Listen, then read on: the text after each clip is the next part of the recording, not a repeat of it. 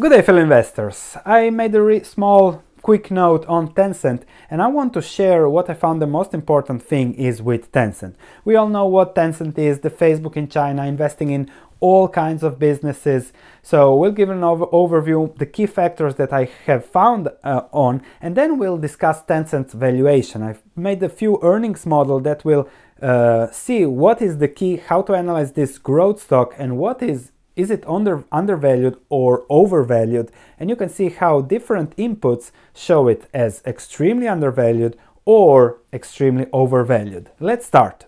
So the fundamentals, price earnings ratio 41.33, price to book 9.35, earnings per share 1, dividend 0.70% and buybacks relatively small. The stock price has been extremely heavily hit lately, but if you look at it from a long-term perspective, it has done extremely well.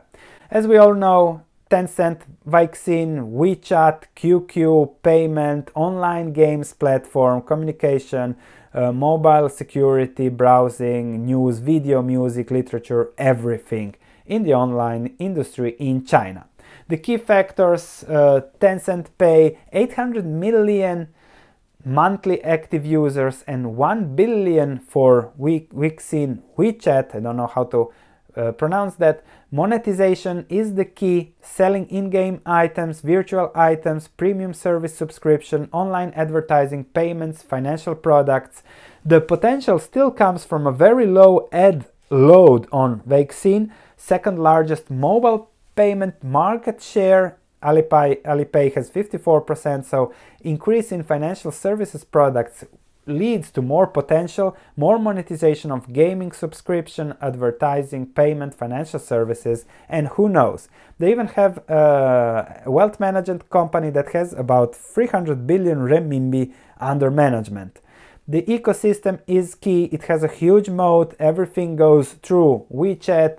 If you are selling something in China, you need to be there which leads to high switching costs from the Wii ecosystem. Now, the key here is analysts expect 10-year growth to be at 30% per year, and we'll discuss that a little bit later more in the earnings models.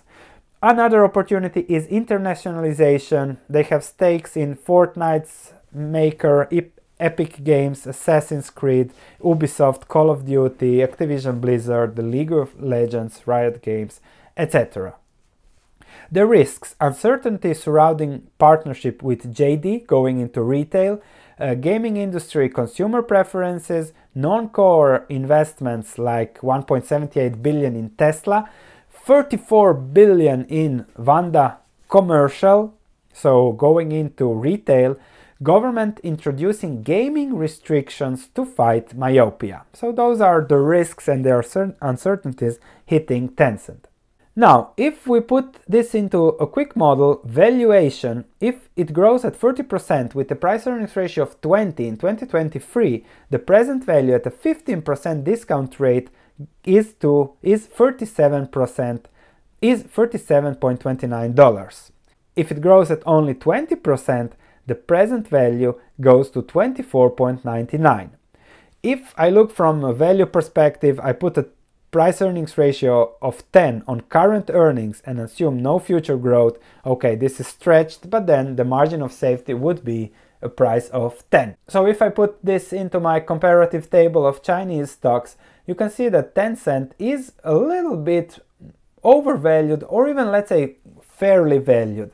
Will it grow 30% over the next 5 years and will the price earnings ratio be 20 in 2023? That is the question you have to get an answer to.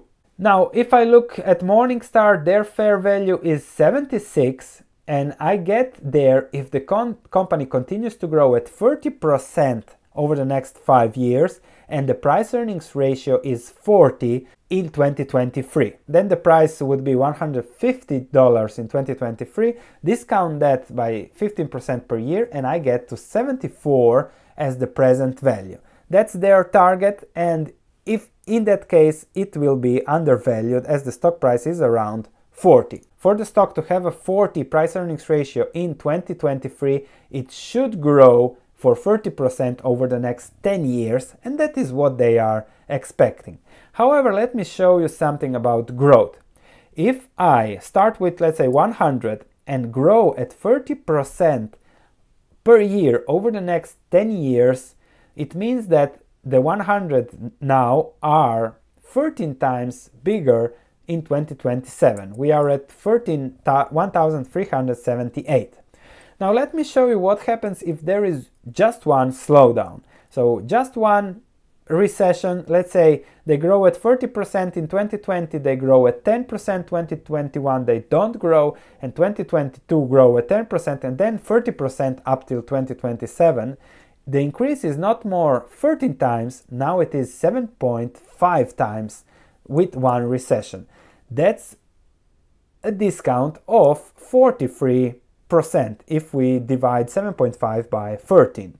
The current stock price is 42 the Morningstar target is 76, which gives a discount of 45%, in line with that including with the model including one recession in 2000, let's say 21. If then the growth rate slows to 20% with a price earnings ratio of 20, then the present value of Tencent is 24, which makes it extremely overvalued now. So you can play with those growth rates. Will it grow 30%? Will it grow 20%? It will grow definitely. So there is one strategy. Okay, you can wait it for Tencent to fall at 24 and then say, okay, now it's really a bargain. It will grow 20% over the next 10 years and it will have a 20 price earnings ratio in 2023, let's say. Then it's really a bargain. At 24, of course. Uh, on the other hand, you can say, okay, I'm going to buy a little bit now. If it drops 50%, I'm going to bring it back to the same portfolio exposure. And then if it goes higher, I'm going to bring it down. And then you say, okay, I'm exposed to the Chinese economy via Tencent. And I simply rebalance across that position.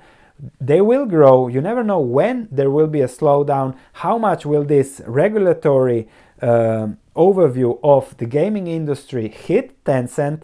So that's something you have to see and that's something you have to manage within your portfolio. We don't know how hard will Tencent be hit.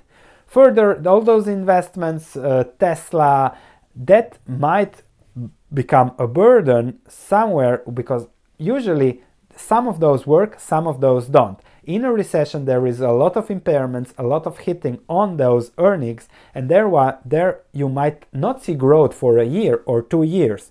And there you see the discount, and then when investors stop seeing growth, then you see a lot of pain in the stock price, which is what is happening a little bit now. So to conclude, Tencent is a great business, uh, has a huge moat, everything okay, However, just think about at what price you might be getting it or at what price you want exposure to the Chinese economy through Tencent, through something else. What will be the growth? Will it be linear or it will go up and down and you can take uh, advantage of on the down or and sell on the high when everybody is very excited.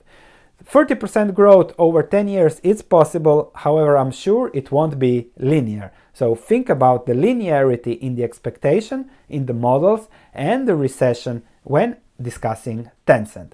Let me know what you think about this, what you do, wh whether you own Tencent, and how do you see developing in the next 5-10 years in the comments below. Thank you for watching.